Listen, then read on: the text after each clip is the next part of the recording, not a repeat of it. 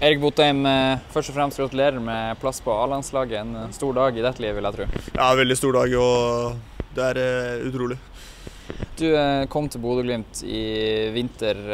Hvis jeg hadde fortalt deg da at du et halvt år etterpå skulle stå her som landslagsspiller, hadde du trodd meg nå? Nei, ikke et sekund. og Det er veldig Det er utrolig, og jeg er veldig ydmyk og, og stolt over, over det. Og jeg gleder meg til fortsettelsen. Men hva er det du har eh, gjort da på dette halvåret som gjør at det har blitt en realitet at du eh, er landslagsspiller? Nei, det er jo hele klubben. da. Jeg har jo hele klubben, trenerne og spillerapparatet og alt.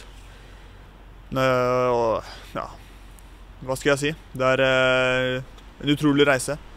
Og jeg har mange å takke. Og jeg gleder meg til fortsettelsen. Jeg har vært her et halvt år nå, så at det har gått så fort, det kan jeg ikke tro. Det tror jeg ikke det tror jeg nesten ingen hadde trodd på forhånd. Så veldig ydmyk og stolt.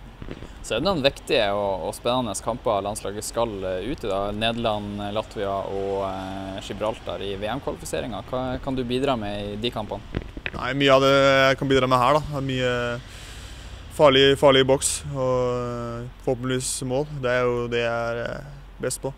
Å få skapt sjanser og, og høy arbeidsmoral. Så jeg håper jeg får eh, muligheten nå. Det har vært uh, utrolig kult.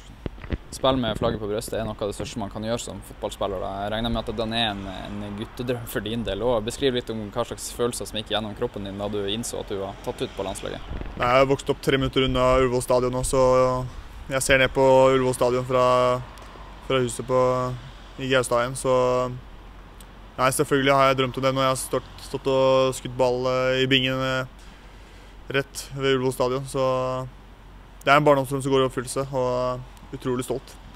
Fulgte du med på uttaket sjøl, eller fikk du bare vite det i etterkant? Eh, jeg har hørt noen rykte om at eh, jeg var nære, så vi hadde liveshow, jeg og Bjørkan og noen andre. Så det var god stemning, da.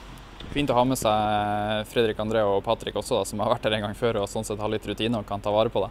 Ja, det jeg kjenner en del folk der fra før så jeg tror det skal gå fint forhåpentligvis. Men alltid kult å ha med flere Bodø-folk, og det er, det er kult å ha tre spillere på landslaget. Gratulerer igjen. Tusen takk.